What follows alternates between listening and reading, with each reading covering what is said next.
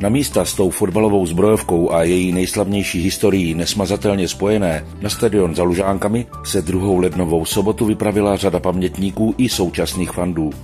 Dobrovolným vstupným mohli přispět na tvorbu chorea fanoušků prvolígového mužstva. Celá sobotní akce však začala jinde.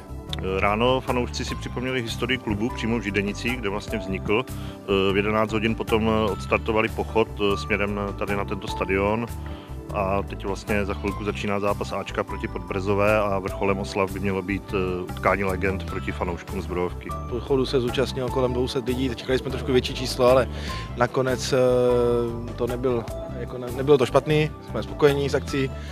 Spustili jsme vlastně petici, kterou chceme dát jasně najevo, že prostě fotbal a hokej a vůbec sport obecně patří sem za Lužánky, tak doufám, že se k nám připojí co nejvíce lidí na webových stránkách www.sportpatřízalužánky.cz. Většina brněnských politiků před volbami proklamovalo snahu o vybudování důstojného fotbalového stánku v tradičním místě za Lužánkami. Fanoušky proto nemile překvapilo nedávné vyjádření současného vedení města.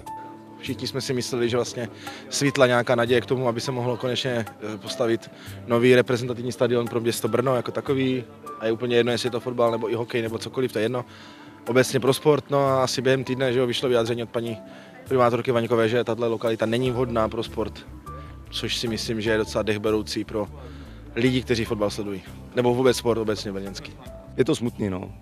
Prostě, prostě fotbal, fotbal patří za Lužánky a, a, a my proto můžeme udělat maximálně to, že teď máme tu petici, jo, dali jsme petici a, a můžeme to prostě připomínat furt, ale ta politická vůle prostě není. Není a asi je jedno, která strana, prostě ne, nevšiml jsem si, že by tady proto někdo něco udělal, vždycky to je před volbama, prostě nějaký sliby a, a kež by se to jednou vrátilo, jako 20 let už je moc. No. Když se před 110 lety v Židenicích sešlo pár fotbalových nadšenců, zřejmě netušili, že jsou u zrodu mužstva, ze kterého měli vzejít budoucí hvězdy, jako Kroupa, Janeček, Pacanda nebo Švancara. Ano, 14. ledna roku 1913 vlastně byl klub založen tehdejší SK Židenice v restauraci u Machu.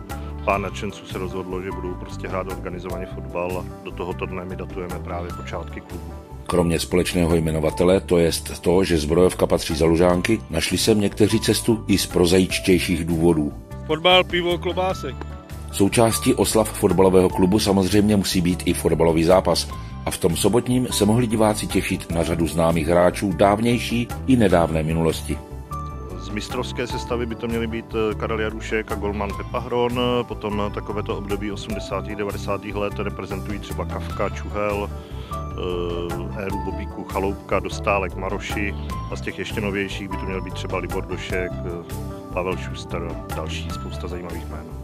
Oslavy 110 let výročí klubu jsou však natolik významné, že je zbrovka samozřejmě neodbyla jen tímto jediným dnem. Tak chceme si celý tento rok eh, připomenout vlastně to výročí, není to zdaleka jenom od dnešku samozřejmě, protože to datum 14. ledna nám nedává moc prostoru dělat nějakou velkou akci a proto to rozložíme po celém, celý rok. Takže se v průběhu roku 2023 můžeme těšit snad nejen na dobré výkony a výsledky brněnských fotbalistů v první lize, ale také na řadu slavnostních akcí, kterých brněnská jednička rozhodně nebude chybět.